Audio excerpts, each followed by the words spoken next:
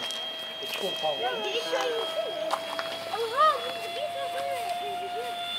Ya bugün gelirken bayağı bir anahtarcı baktım da yol kenarında hiç bulamadım. Hadi ben şurada aşağıya Hadi ya. Bir de Google Map'ten falan baktık yapalım. Yok yok yok yok.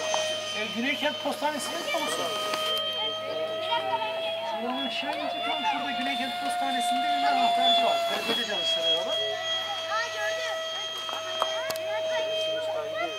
Veya ev neredeydi senin?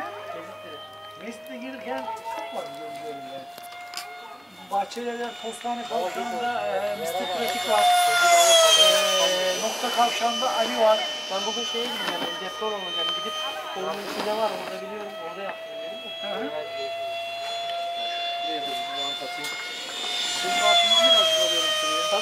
Heh. Şey yapmışlar geçen hafta gördün mü? İsterseniz Tamam. balıkların falan da var yani. Yok ben özel şey getirdim buna. Kaplama getirdim. Hoca şu yakından bir geçirsin. Bu adam 5 Gidelim. satıyor. Aşağı satmıyor. Şey, lifli beyaz bant falan var yani. Yok. Şey, etrafına kalkmasın diye. Adam ne zevk aldıysa vandalizm ya. Adam burada ateş yakmış. Şurayı komple yakmış. Nereye gidiyorsun? Babama telefon alacağız, pro buluşacağız. Tamam ediyor. S4000 düşünüyorum, nasıl? Güzel. Babaya mı? Hı. Kaç yaşında? 60'a dayandı.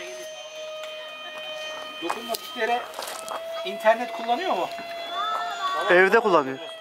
İnternet kullanmıyorsa, eğer internetle alakası yok hemen kapattır.